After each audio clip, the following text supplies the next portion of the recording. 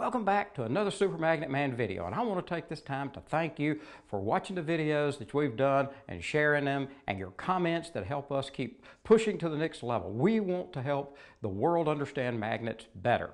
So with that, I'll tell you what we're going to cover today. This video is about how magnets act in an array. This is something many customers have contacted us about, not specifically asking how do magnets act in an array, but they design a problem and they present it an application to us that has a lot to do with how these magnets are going to interact when they are close together. So I wanted to put together this exercise so that you can understand better how magnets act together. We're going to be working through the exercise of making this 5 by 5 array of magnets. These magnets are 30 millimeters square by 4 millimeter thick, and they're N40 grade magnets. And we're putting them together. Now, they are continuously repelling each other because all of these have the south pole pointing up. And what we're going to look at is how we put this together and how it affects the readings. You can see the readings up here. We've already got the data up here, and we're going to go through this step by step and show you how we get this information so you will better understand how magnets work together in an array. We're going to take these magnets, and I've already got my center reading off of this one, and it measured 1400 Gauss, the one that's in the center of the array. Now, I put the magnets in all around it. The individual Gauss readings are up in black, 1400, 1380, 1370, and so forth. Now we're going to take it apart and we're going to measure the Gauss reading on each of these magnets individually now that we've put them into an array.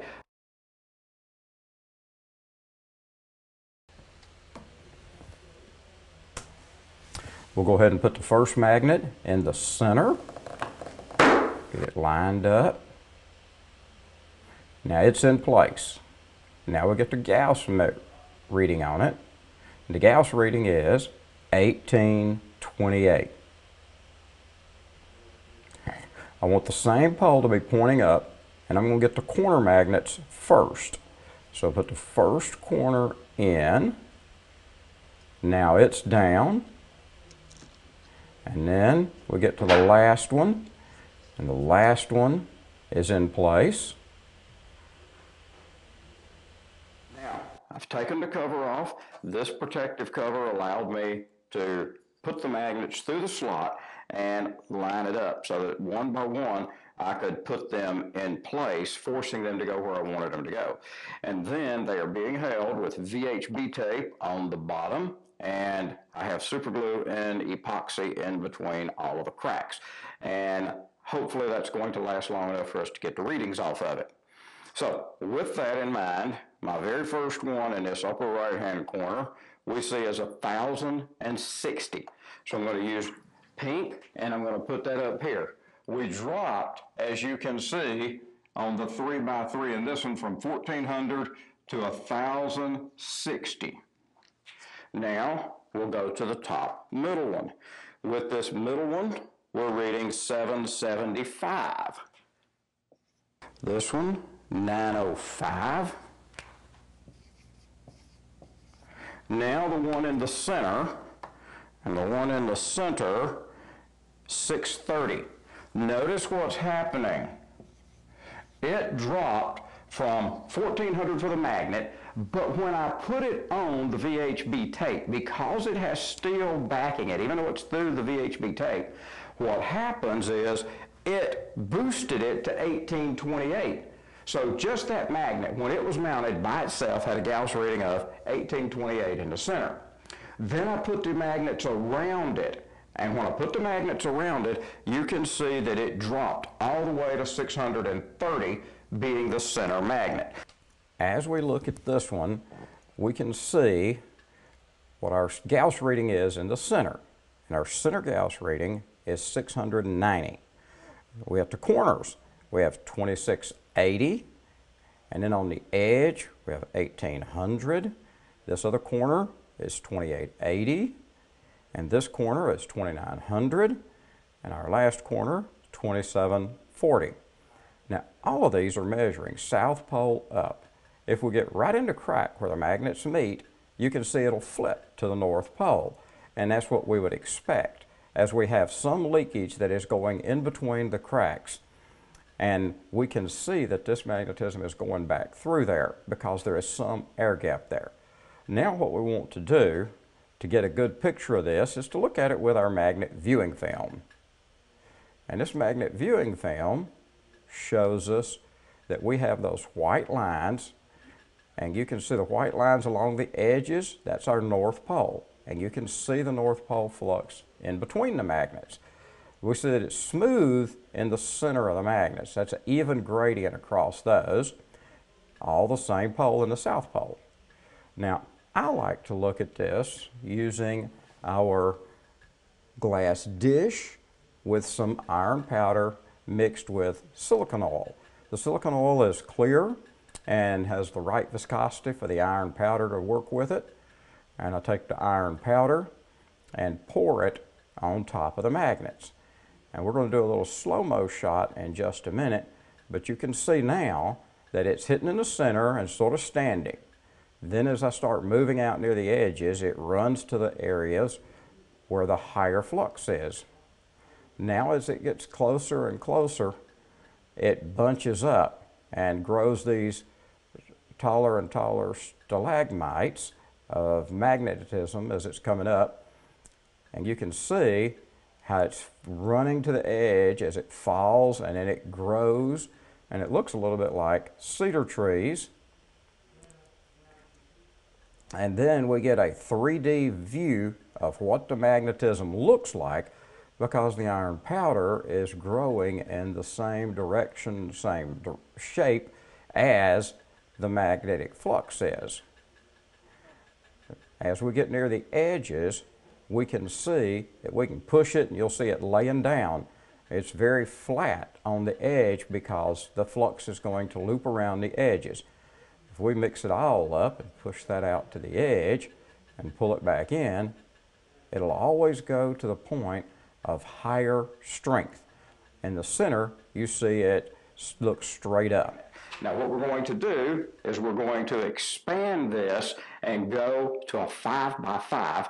Hopefully this will hold together. So as a better shot of this, we can see this is what it looks like at this point. Okay, after a lot of work, I think I have the 5 by 5 grid of magnets together. So let's take a look at what that does to our data. I'll move this clamp that's holding the last one in. It's popped off a few times, and we'll see what we're getting. This is the 5 by 5 grid of magnets. Now while I had it held down, I've gone ahead and gotten the readings off of it because these magnets may fly off while we're doing this video. They have been all week. So with this, I want us to take a look at what we saw. When we looked at the center magnet, and I put just the center magnet down, before I put it to the metal, it was a 1400 Gauss in the center of the magnet. I then mounted it on the VHB tape with the steel behind it, which held it in place, but it added a little bit of air gap to it, and the field reading was 1828 Gauss in the center. Now, I went and I made it into this 3 by 3 three grid, and the field dropped to 630 Gauss on the center magnet. Then I've made this 5 by 5 and you see it has dropped all the way to 345 Gauss in the center magnet. Now if I took all these apart, the center magnet would still read right back to what we started with. it's its presence in this large array that's changing it. And one of the things you see in the picture of the grid is that there are some air gaps in there. Some of these magnets are really hard, and when you leave them for a few hours, even though they're held with VHB tape and superglue, they manage to push themselves apart one millimeter, half millimeter, or something like this. And that creates the air gap, and then you'll see the flux lines on the film that you can see where the little grid pattern goes and that's where all the flux is going around in between those magnets. But it still has a huge impact on the overall magnet. Just a little bit is going in through the cracks.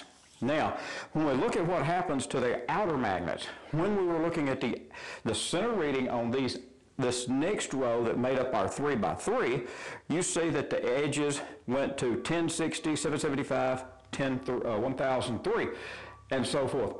When we then put this other set of magnets, look what happened to their reading. 435, 315, 518, 445.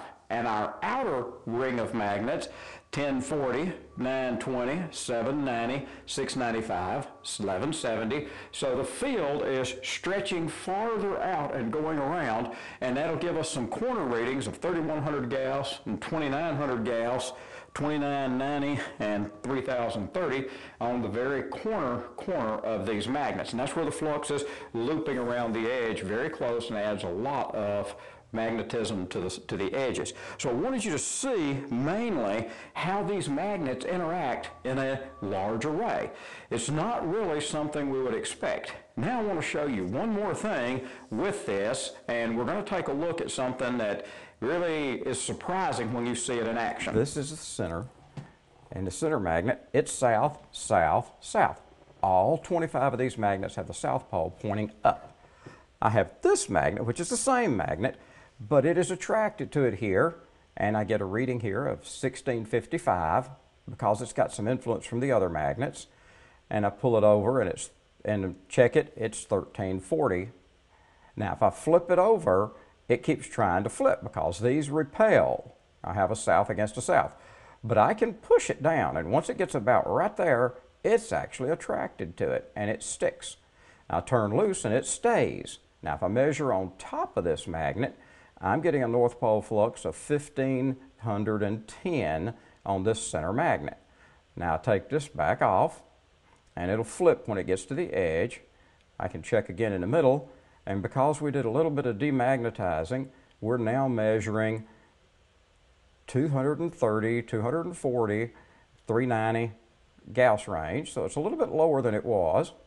Now we see that it's attracted in the center repels like this and we push it down, measure again on the back side, and it's 1590 north again. Now we'll take this magnet up and it's allowed us to see two magnets that repel each other and make them stick together because of this large field which is weak in the middle but very strong on the edges. We'll take a look at this with our magnetic viewing film.